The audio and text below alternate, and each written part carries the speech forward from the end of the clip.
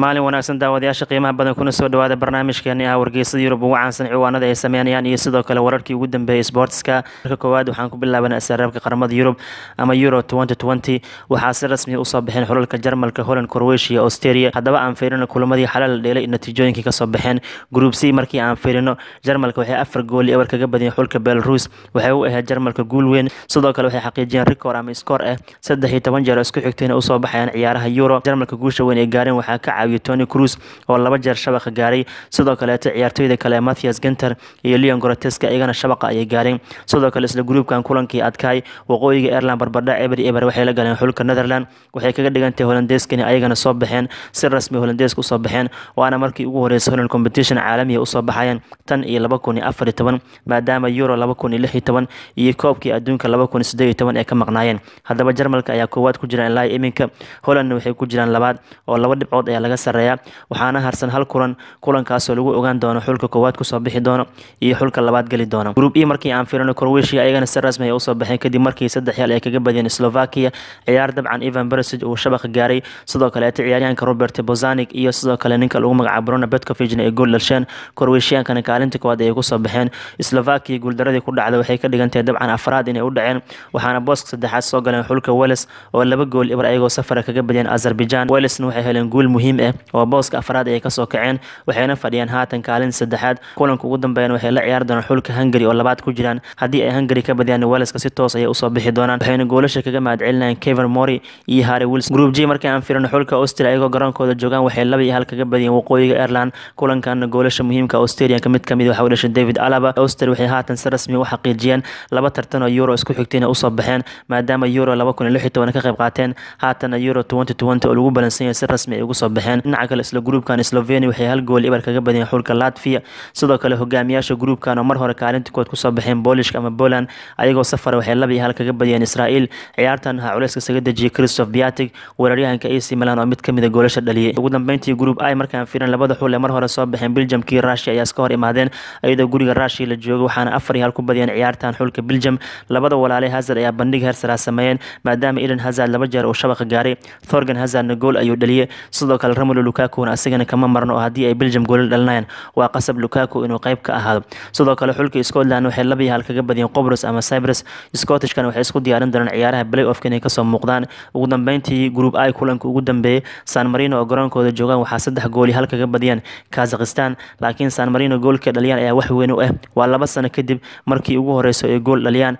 San marino oo gool dhalaan waxaa ugu dambeysay kulan rasmi ah afartii september laba kun toban iyo todoba ciyaar shan gooli hal guuldaro ay kala kulmeen azerbaijan toban iyo todoba kulan kadib ayaa san marino u gashay inay gool dhaliyaan tartan caalami ah. Sidoo kale san marino waa markii ugu horeysay lix sano kadib ay garoonkooda gool ku dhaliyaan waxaana ugu dambeysay ayagoo gurigooda joogaan oo gool dhalinayaan tobankii september laba kun iyo saddex iyo toban ciyaar ay poland wajaheen. Marka san marino waa laga badiyey laakiin labadaas ujeeda ayay u dabaaldegeen. Bal markaan aan si rasmi idinkula wadaagna ilaa iminka lix iyo tobanka xul ee soo baxeen tartanka qaramada yurub xagaaga dambe ka qayb qaadan doonaan. Waxaan idinkula wadaagayna xarfaha ama alfabeticalka sida u kala horeeyaan ee ma ahan siday u soo kala horbaxeen sidaa darteed lix iyo tobanka xul ee soo baxeen waxay kala yihiin austria belgium croatia czech republic england finland faransa germany italy netherland poland russia spain sweden turkey ukraine. Waa lix iyo tobanka xul ee si rasmi u soo baxeen ugu dambeyntii sheekooyinka euro aan ku soo celiyana jadwalka maanta kulamada la ciyaari doona maanta waxaa la dheli doonaa group a iyo group b. Group a markii aan firan ingiriiska mar hore ayay soo baxeen waxayna safar u yihiin ama ay safar ku tagayaan kosovo kulan soo geli doona sideedda fiidnimada xilliga geeska afrika.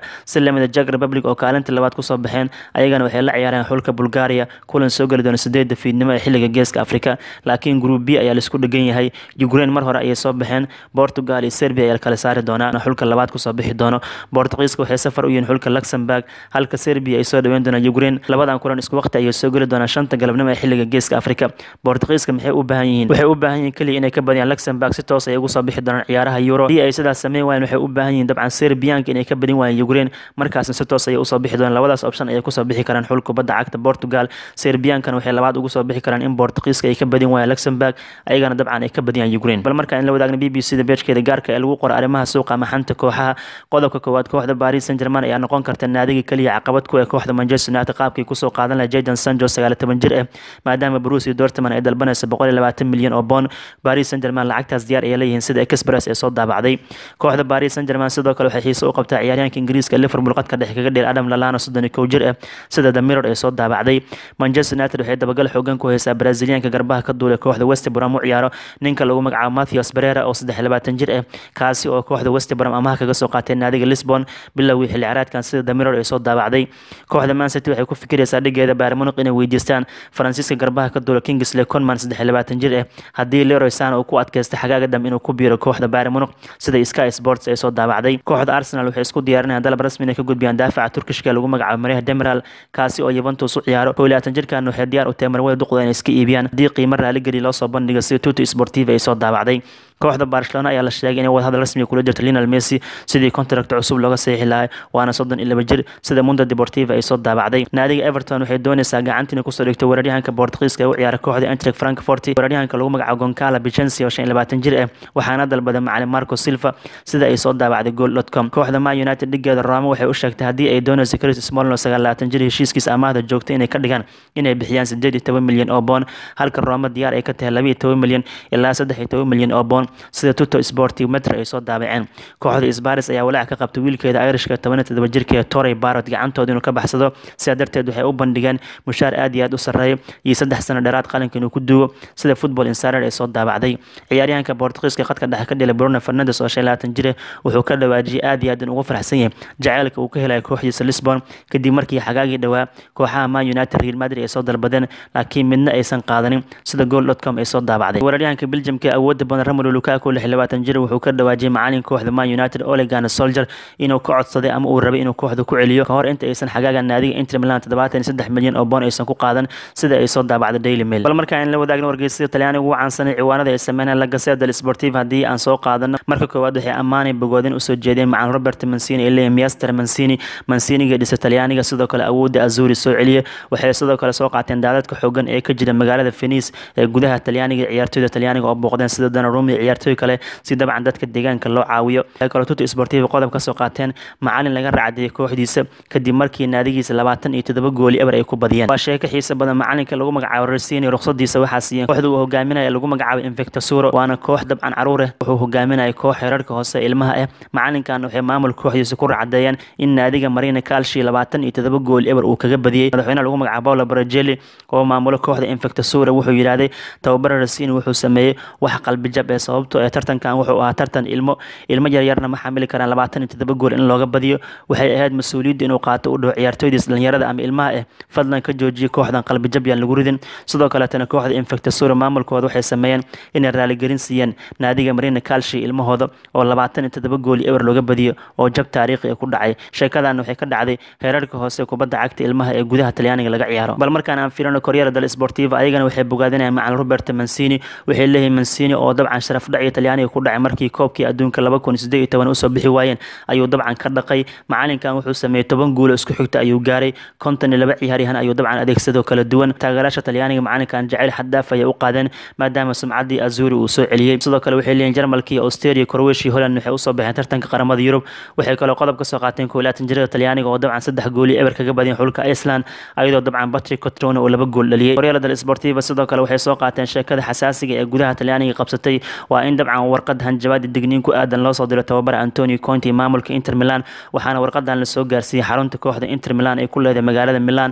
Weliba warqadan waxaa lagu soo sawira bistoolad ayaa ku soo horneed ama xabad ayaa ku soo horneed oo cointi kooxda inter milan qoraal ayaa loogu hanjabay. Laakiin maayarka ama duqa magaalada milan wuxuu sheegay in arrinkan aan la qaadan karin. Inter milan ay garab taagan yihiin. Guud ahaan reer milanesna laga raba dabcan inay isgarab istaagaan oo qatartan weyn ee kooxda inter ku soo wajahan laga hortago. Geeska caanka ee torino ka soo baxo tuto sportiva ciwaanada ay soo qaadanayaan. Waxaa ka mid ah, waxay leeyihiin cr 7 oo doonaya bool bogba in la keeno yuventus ronaldo wuxuu u sheegay maamulka yuventus in bogba la keeno. Suberstarkan faransiiska wuxuu aaminsan yahay c r in awood dheeraada marwada duqda uu ku soo kordhin karo. Sidoo kale tuuta sportiva waxay soo qaateen antoni cointa warqadii loo soo diray xarunta inter milan soo gaartay oo xabadda ambistarooda ku suurnayd macalinkaana qoraal loogu hanjabay. Waxay leeyihiin tuuta sportiva wax la qaadan kara maaha. Bal markaan aan fiirna jaraa'idada sbain ugu caansanay ciwaanada ee sameynaya majalada marka waxay waraysi gaar la yeesheen ciyaaryahan rodri harnandes oo qadka dhex kaga dheli kooxda man city iyo xulka sbain coverkana qayb ayay ka siiyeen sameeyeen waraysiga ay la yeesheen rodri wuxuu yidhahday dad badan ayaa igu dhaheen ha aadin manchester city. Premier league kuuma wanaagsan laakiin wuxuu yidhahday go'aankaygaan qaatay go'aankii ay qaatan haatan waa ku faa'iida ayuu ka dhawaajiyay ciyaaryahankan oo sheegay city si wanaagsan inuu qabsaday. Sidoo kale rodri oo ka mid a ciyaartooyda gaardiola joogtada u adeegsado asigana wuxuu haatan ku jiraa waqti qurux badan maadaama uu joogto ugu ciyaaro macalinka spain ee xulka robert morino hogaamiyo. Ciyaaryahankanna wuxuu sheegay xaalad deganaa inuu muujin doono kulanka talaadada spain ay kula ciyaari doonaan xulka romania garoonka wanda metropolitan stadium waana garoonka kooxda uu ka soo tegay atletic madrid saa darteed waxaa cabsi laga qabaa taageerayaasha atletic cadowtinimo inay u muujiyaan laakiin xidigan wuxuu leeyahy deganaansho ayaa muujin doonaa markaan aan fiirina majalada a s waxay soo qaateen sheeko xiisa badan waxay leeyihiin labada aan la loodin karin ama aan laga badin karin waa labada ciyaaryahan ee kale federico falfardi iyo casimero haddii ay qadka dhex real madrid wada ciyaarayaan kooxdan wax guuldaraama aysan la kulmin toddoba kulan ee xilciyaareedkan si wada jira falfardi iyo sidoo kale casimero qadka dhex kaga soo muuqday madrid toddobada kulan kooxdan wax guuldaraama aysan gaarin. Marka ee sidaan ayay siinayaan sir oo waxay leeyihiin labadan ciyaaryahan mar walba isla ciyaarsii kooxdaada lagama badin karo. Sidoo kale waxay qodob ka qaateen ciyaaraha euro. Waxay leeyihiin tony cruz iyo hazard oo real madrid u ciyaaraan xulalkooda min laba laba gool ay u dhasheen bandhig heersara ayay sameeyeen. Sidoo kalena waxay leeyihiin gareth bale wuxuu ciyaaray kulankii wales laba gool eber ay kaga badiyeen xulka azerbaijan. Mundo deportiva markaan fiirino ayagana waxay qodob ka qaateen arrimaha barcelona. Marka koowaad waxay soo qaateen gerard bikey oo dabcan lagu casuumay tartanka tenniska davis cup oo toddobaadkan bilaaban doono inuu daaha ka qaado. Ciyaartooyda ka qayb qaadan doona waxaa ka mid a rafael nadal oo doonaya tartankan caalamiga tenniska davis cup inuu ku guuleysto sidoo kale barcelona qodob muhiim ay ka soo qaateen waxayna wareysi gaar la yeesheen eric abidal oo ka mid agaasimiyaasha kooxdan. Abidal wuxuu xaqiijiyey saddex arrimood inay maamulka barcelona ku mashquulsan yihiin. Midda koowaad waxay tahay sidii messi looga saxiixi lahaa contract cusub. Midda labaad waxay tahay ansu fati sidii contract dheer looga saxiixi lahay mushaarkiis sare loogu qaadi lahay. Ugu dambeyntiina wuxuu xaqiijiyey mas'uulkan in neymar iyo qorshaha lagu keeni lahaa weli aysan meesha ka bixin. Optionkaasna uu baaqi yahay. Haddii ay soo baxdo fursad neymar lagu soo celin karana ee garoon camnew ku soo celin doonaan braziliyaankan daawadaasha qiimaha badan guud ahaan barnaamijkeena wargeysa yurub ugu caansan ciwaanada ay sameynayaan. Iyo sidoo kale wararkii ugu dambeeyay sportska intaas ayaan ku soo idleenaynaa haddii aad tahay saaxiib nagu cusub fadlan janaalkayga subscribe saar like iyo share iyo comment kama marno. Asalaamu calaykum waraxmatu